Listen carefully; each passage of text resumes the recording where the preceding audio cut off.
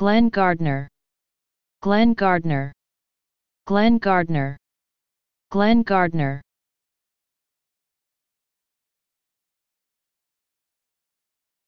Please subscribe and thanks for watching.